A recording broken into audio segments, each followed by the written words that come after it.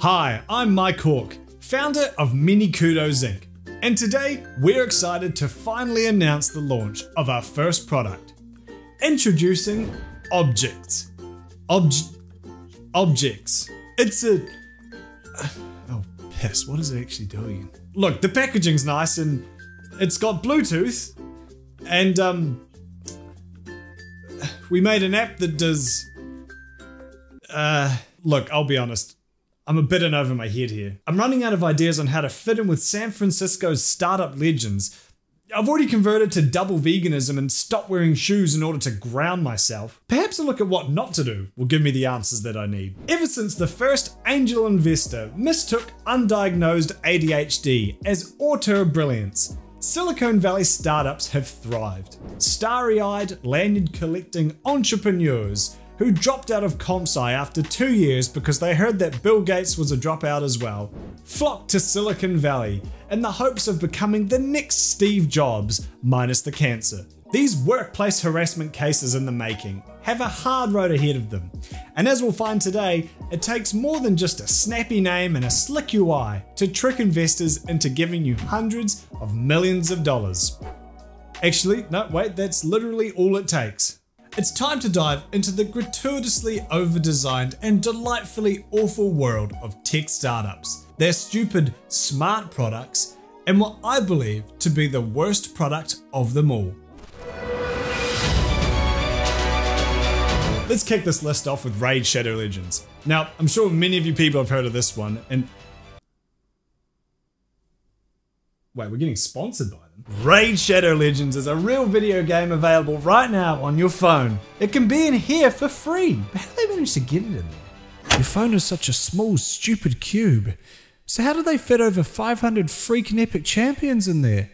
I hope they have plenty to eat and drink. Not to mention the massive story campaign, raid bosses, dungeons, PvP arena matches and encouraging messages from your dad? Last month I finally decided to check out what the whole Raid Shadow Legends thing is that everyone's always going on about. And to my surprise, it was, well, let's just say they should start renaming it to Rad Shadow Legends.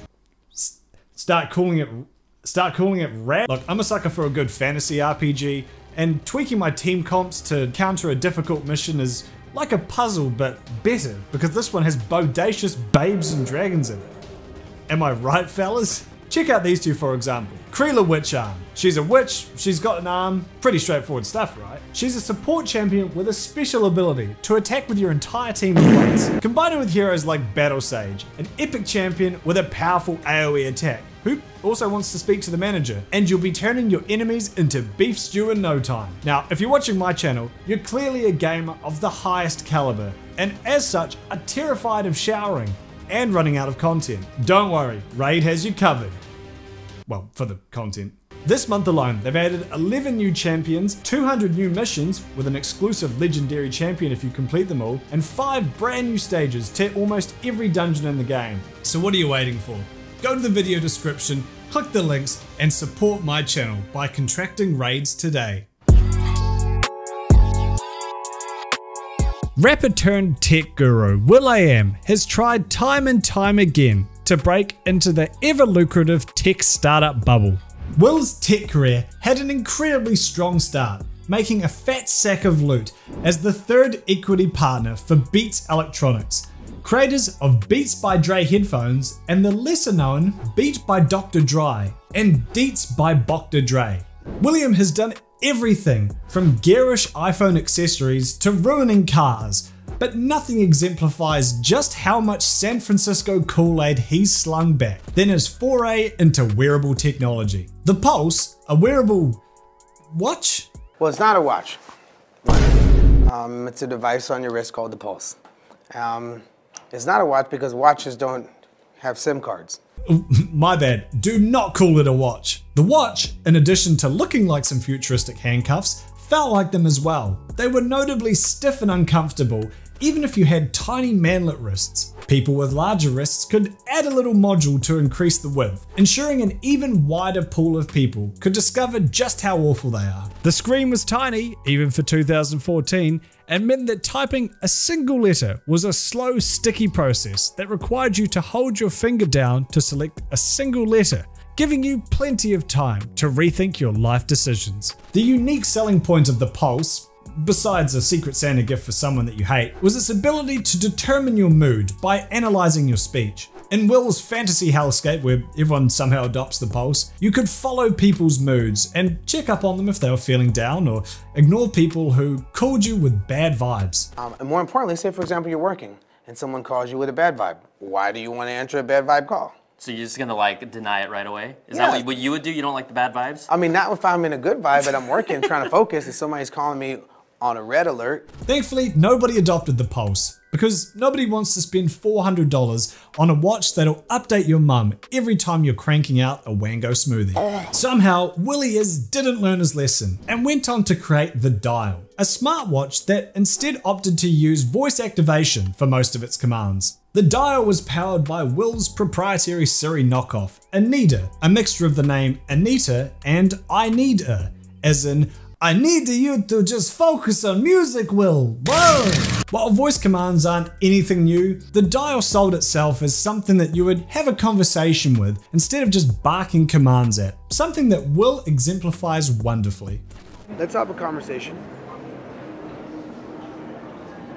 Search for restaurants. What are you in the mood for? Let's talk about music.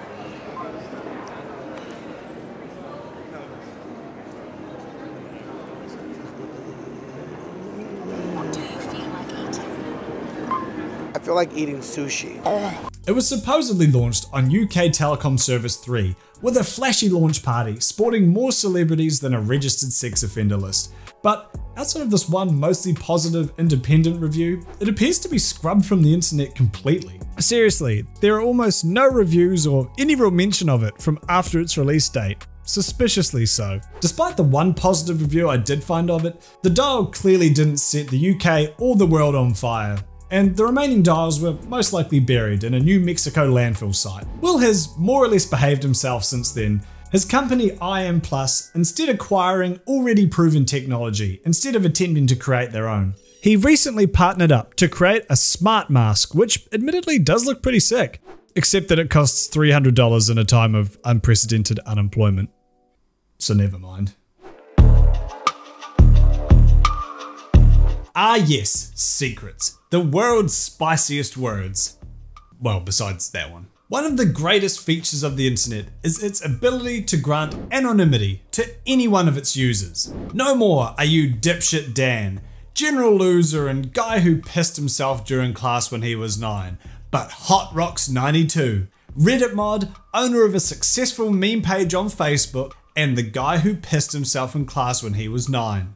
We didn't forget Dan. Those with a guilty conscience or a general desire to overshare could now do so freely without the fear of repercussions. And it wasn't long before app developers found a social void that Facebook could never fill. Okay, how about this? We make an app where you can share anonymous messages, but get this, they're only shared amongst people within your contacts. That'll make the messages shared even more salacious, knowing that it might just be your friend Jeff admitting to the world that he's never been sure if he's wiping properly or not. This was the idea behind social media app Secret. Unsurprisingly, however, secrets are usually secrets for a reason, and while throwing one out into the ether of the internet to get it off your chest is one thing, sharing it amongst the circle of people who may very well be affected by it is another thing entirely. Well, assuming the app was used for secrets at all, there really was nothing stopping you from just posting hateful messages towards someone who you know is more or less guaranteed to see it without ever having to reveal your identity. In 16 short months, Secret exploded,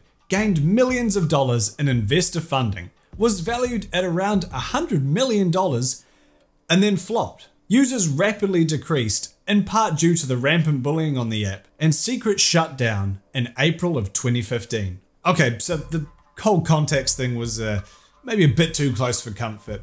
What if we just restrict the anonymous messages by location instead? This idea fueled Yik Yak, turning it into a sort of anonymous virtual message board, much like the one in Animal Crossing that you use to call Tom Nook a pedophile. Of course, for all the positive or at least entertaining uses it had, the cyberbully potential was off the charts. Between this and at least three instances of anonymous bomb threats, schools constantly struggled with Yik Yak until they added in the functionality that disabled the use of the app on all middle and high school grounds across the USA. Even on university campuses, where the app wasn't banned, there were widespread reports of hate speech.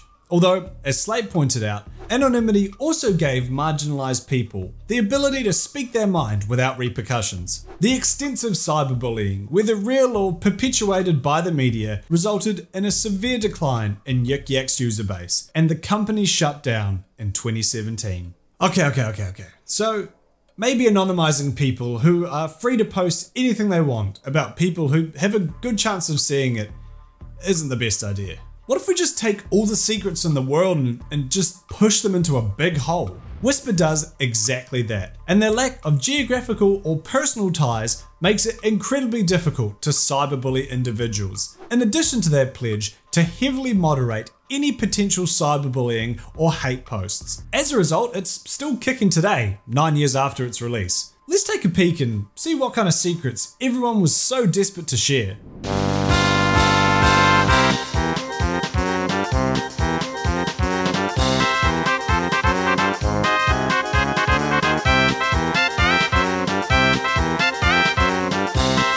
Yes, I can see why these secret sharing apps were worth hundreds of millions of dollars.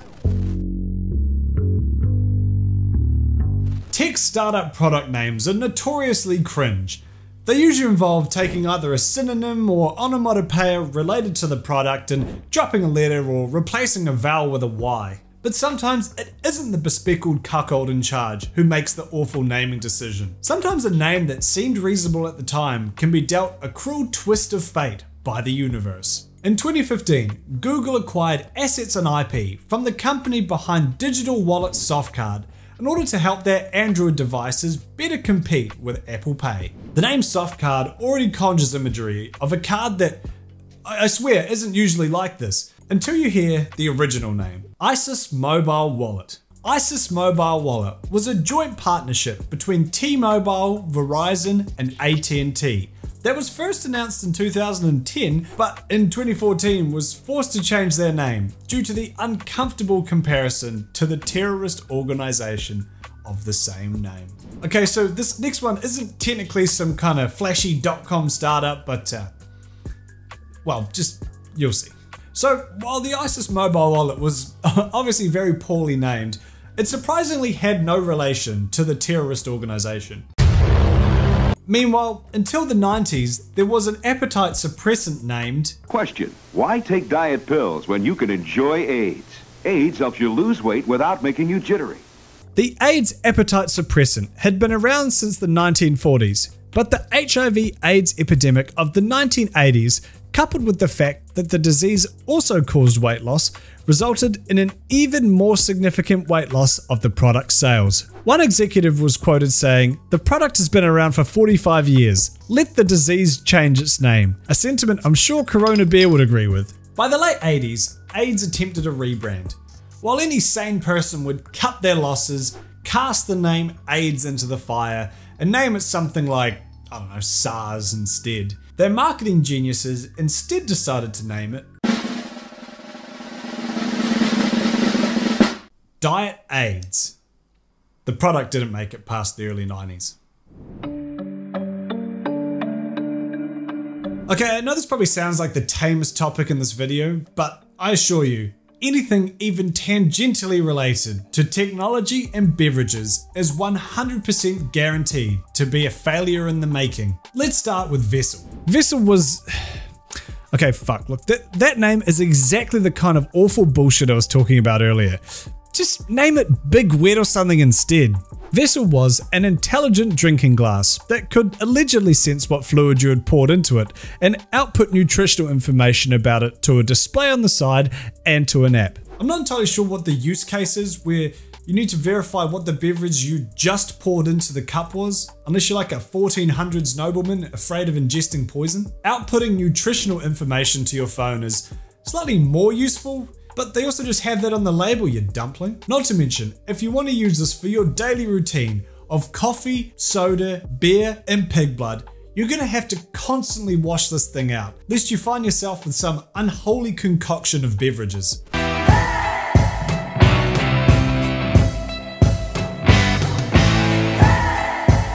Oh, yep, that's beer, alright. After securing over a million dollars in pre orders, the team behind Vessyl found out that chemistry is actually pretty difficult, uh, and that the product might not even be doable.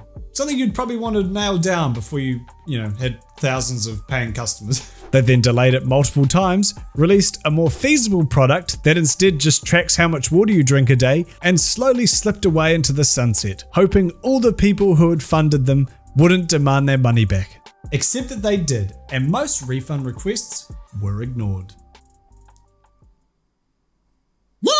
Finally, we're at the last entry to this list. To me, this is the most egregious example in this entire list, and was the inspiration for this whole video. Sure, they didn't scam as much money as Theranos or failed to deliver their product like the Vessyl, but if you want an example for creating a solution to a problem you created, over designing it, and then slapping on an app for some reason, look no further than the Juicero. Juicero was a cold pressed juice machine for your home that initially retailed for 700 fucking fat beans. Almost as ridiculous as the fact that they were able to secure over $120 million from big names like Google. It was very slickly designed and would squeeze 5 to $8 bags of fresh chopped fruits and veggies with several tons of force. Because the big draw was the freshness of the produce, they only had a shelf life of around 8 days and were printed with a QR code that was scanned by the Juicero to check whether or not it was past its expiration date. Good luck putting your balls in there as well for a bit of CBT action because it also scanned to make sure that there was authentic Juicero bags in there. Anything else and it ain't squishy. You would think, while pricey, I mean this might not be the worst product in the world, right? Until it was discovered that you could simply squeeze the juice packets with your hands or even just placing a small dog on top of them, as an infamous Bloomberg video demonstrated. Of course, it's not like you just nip down to the store, buy a few bags, and squeeze them at your leisure.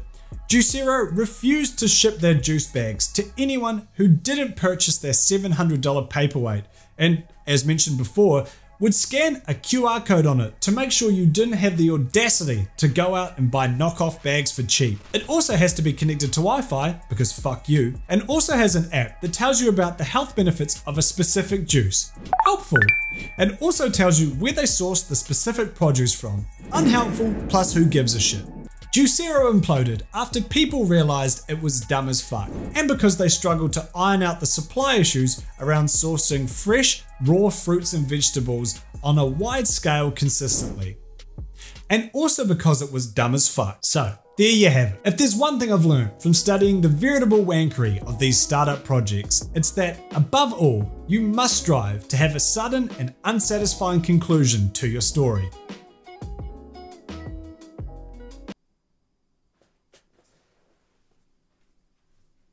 What's fucking gamers? Just letting you know that me and three of my best boys have started a weekly comedy podcast named Beef Boys. Here's a brief sample. Be sure to click the annotation to see more.